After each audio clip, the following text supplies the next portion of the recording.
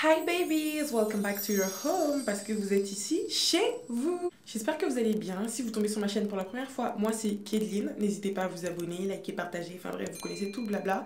Et abonnez-vous à mes différents réseaux sociaux, sachant que j'ai le même nom sur tous mes réseaux, donc c'est super facile de me trouver en fait. Aujourd'hui on se retrouve pour ma petite skincare routine. Là c'est le matin, mais je posterai la vidéo à 18h.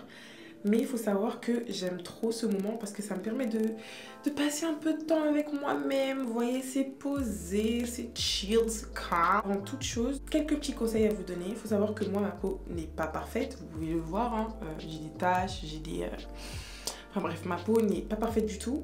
Mais euh, je suis quelqu'un qui boit énormément d'eau. Là, j'ai des petits boutons, c'est lié au masque parce que vraiment, depuis que le Covid s'est arrivé, avec les masques, ma peau c'est n'importe quoi, mais genre vraiment n'importe quoi. J'essaie de temps en temps de prendre soin de moi, ça, je fais mes skincare et tout, mais les masques ça arrange rien en fait. Enfin bref, si vous voulez des petits conseils pour avoir une belle peau, buvez de l'eau. Moi je suis jamais sur ma bouteille d'eau, genre vraiment je bois 1 litre 5 par jour, voire plus. Mais faut savoir aussi que boire trop d'eau c'est pas bien. Donc franchement, essayez de trouver le juste milieu, essayez d'équilibrer. Je sais qu'il y a des personnes qui n'arrivent pas à boire de l'eau, je sais qu'il y a des personnes qui n'aiment pas ça. Mais euh, vous savez, il y a des petites capsules euh, avec des arômes que vous pouvez mettre dans vos bouteilles d'eau. Ça, ça aide énormément. Moi, avant aussi, j'arrivais pas à boire beaucoup d'eau. Maintenant, je kiffe.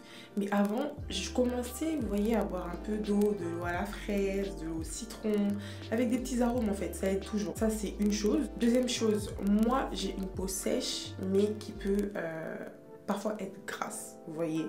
Genre quand je mange des trucs trop gras, ma peau, bah, ça se ressent. J'ai la peau genre euh, huileuse, mais j'ai vraiment, je sens que j'ai la peau grasse en fait. Donc faites attention à votre alimentation, mangez pas trop gras, mangez pas trop salé. Je suis pas, euh, comment on appelle ça? Dermatologue, c'est comme ça qu'on dit. Hein. Je suis pas une dermato, mais j'applique les conseils que moi on m'a donné. Vous voyez, genre je suis déjà partie voir le médecin par rapport à ma peau, il m'a donné des petits conseils, donc je fais que vous répéter ce qu'il m'a dit. S'il y a un truc, ah, c'est pas moi Une dernière chose, ne tripotez pas H24 votre visage. Nos mains sont pleines de... Mais bon, faites gaffe, hein, j'ai perdu un ongle, j'ai trop la rage. Je vais les refaire tout à l'heure. Mais dites-vous que nos mains, elles sont pleines de microbes. Rien que déjà avant de commencer à faire ma skincare, moi, je vais me laver les mains.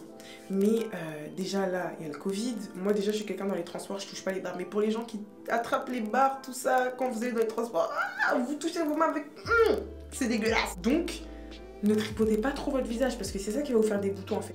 Et si vous avez d'autres problèmes spécifiques liés à de l'acné ou quoi que ce soit, parce que moi j'ai jamais eu d'acné, genre vraiment les boutons que j'ai là c'est... Euh, c'est euh, les masques. J'ai jamais eu d'acné. Si vous avez vraiment des problèmes spécifiques, allez consulter un dermatologue. N'écoutez pas euh, toutes les astuces que vous voyez je sais pas où parce que c'est pas toutes les astuces qui conviennent à tout le monde. Voilà. C'est pas parce que moi j'ai trouvé une solution qui va bien à ma peau que vous allez trouver la même, que cette solution va vous convenir. Donc allez consulter des dermatologues si vous avez vraiment plus de problèmes spécifiques. Bon, j'ai assez bavardé. Maintenant on va commencer. Donc je vais me laver les mains bien évidemment.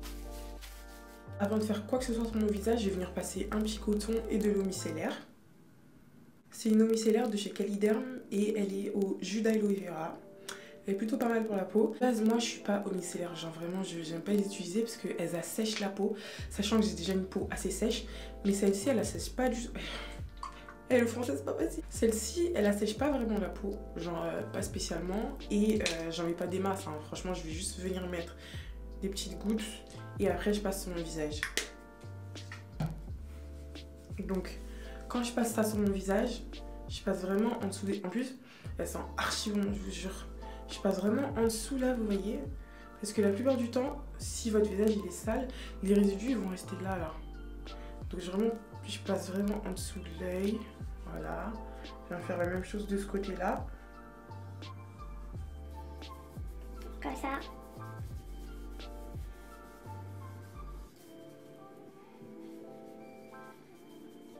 Je vais vous montrer. Regardez. En apparence, ma peau a l'air propre. Mais il y a toujours des résidus sur le visage. Une fois que j'ai fini de venir passer mon petit coton et mon eau micellaire, je vais venir prendre ma brosse nettoyante pour le visage et mon gel qui vient de chez Neutrogena. Celui-ci, il est à base de vitamine C et de pamplemousse. Et franchement, j'aime trop. Genre, il hydrate archi bien. Faut savoir les filles que quand on utilise ce genre de brosse, déjà il y a trois, euh, il y a trois têtes, de la plus douce la plus dure. Donc moi, je vais prendre la plus dure. faut savoir que quand on utilise ça, faut le nettoyer avant et après le lavage du visage parce que euh, ça c'est plein de bactéries voilà genre je, je vous apprends rien c'est plein de bactéries donc Ne venez pas utiliser ça directement comme ça, même si vous pensez que c'est propre, rien n'est jamais propre. Donc vous venez le laver d'abord. Et dès que vous finissez de l'utiliser, vous le lavez. C'est comme ça qu'on fait. Donc là, je l'ai lavé. Je vais venir mettre euh, un peu de gel nettoyant dessus. Et je vais passer sur mon visage. Il faut savoir que quand vous lavez votre visage, ne le faites pas en 30 secondes. Si vous voulez le faire en 30 secondes et que ça vous va comme ça, faites-le. Mais moi, je prends vraiment le temps d'insister sur chaque partie de mon visage. Genre vraiment, prenez le temps. On n'est pas pressé, calme tu prends tout le temps, tu nettoies bien ton visage. Il y a deux vitesses. Il y a deux vitesses. Je vais commencer par euh, la vitesse numéro 1. On va y aller doucement et après, je finirai avec la vitesse numéro 2.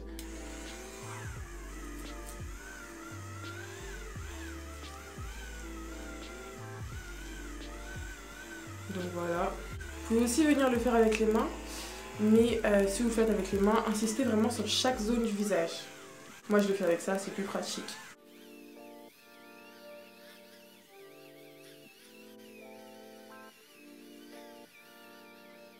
Maintenant je vais passer à la vitesse numéro 2 pour que ça soit encore mieux.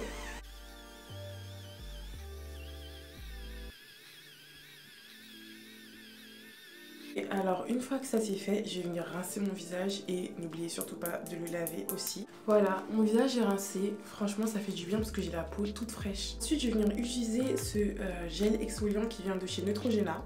Alors il a l'acide salicylique, il est vraiment trop bien parce que euh, il prévient en fait l'apparition des boutons et il débouche les pores. Si vous n'avez pas les gels exfoliants avec grains, ne l'utilisez pas parce qu'il y a des grains mais c'est vraiment des tout petits petits petits grains. Je mets une petite noisette. Hop, et ensuite, je vais venir frotter mon visage avec. Je vais utiliser mes mains. Et euh, je vais vraiment frotter pendant, on va dire, euh, deux minutes. Et vous pouvez voir que en fait les grains vous les sentez même pas, hein. vous les sentez même pas et ça va venir mousser un tout petit peu votre, euh, sur votre visage.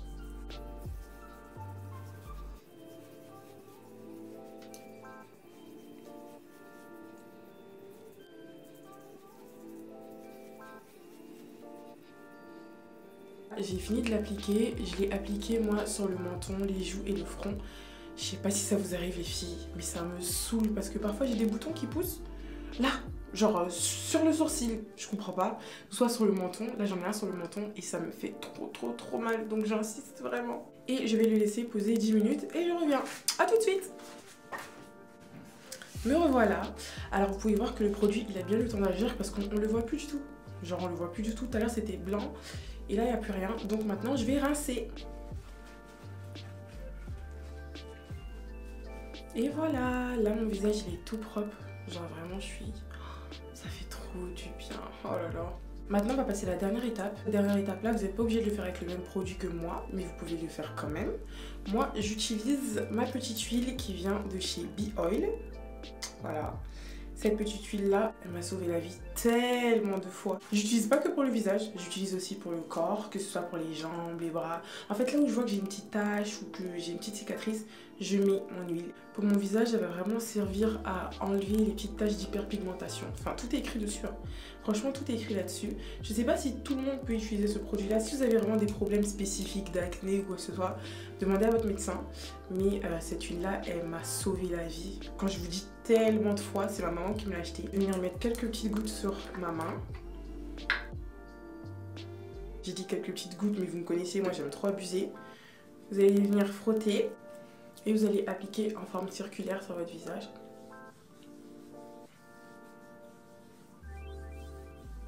N'hésitez pas à en mettre aussi dans votre cou. Et voilà Là, vous pouvez voir que votre visage, votre peau, elle est bien hydratée. Elle est pas sèche. Vraiment, rien à dire. On n'a pas encore fini. J'avais dit que c'était la dernière étape, mais la toute, toute, toute dernière étape, c'est l'hydratation des lèvres. J'ai galère trop à ouvrir ce machin quand j'ai mis de l'huile dans mes mains. Ah, c'est chiant. Je crois que j'ai appelé ma petite soeur. Emma Tu peux venir s'il te plaît? Ah, merci Emma. Tu peux faire un petit coucou à la caméra Je prends ma vaseline. Euh, je vais l'appliquer comme ça. Et j'en mets sur mes lèvres. Donc moi j'aime trop abuser mais il n'en mettait pas beaucoup. Hein. Voilà. J'aime trop quand mes lèvres brillent comme ça. Ne sortez jamais avec les lèvres sèches, les filles. Non seulement c'est pas beau, et en plus, quand les lèvres sont sèches, elles se déchirent et ça fait super mal. Ayez toujours votre vaseline avec vous ou du labello. Moi, la vaseline, j'ai à la maison et j'ai toujours un labello dans mon sac. Genre vraiment, je sors jamais ni sans mon gloss ni sans mon labello qui est dans mon sac. Parce que avoir les lèvres sèches, ça fait trop mal et c'est trop moche. Voilà. Et là, on a réellement fini. Je tiens à préciser encore une fois que tous les produits que j'ai utilisés, je ne sais pas si tout le monde peut les utiliser. Si vous avez vraiment des problèmes spécifiques liés à l'acné, ne pensez pas que c'est ça qui va vous faire avoir une belle peau. Allez voir un dermatologue. Merci à tous d'avoir regardé ma vidéo. Si elle vous a plu, n'hésitez pas à liker. N'oubliez pas de vous abonner à mes différents réseaux sociaux si vous voulez me retrouver partout. Je vous les mets en dessous là. Et on se dit à la prochaine pour une nouvelle vidéo. Bisous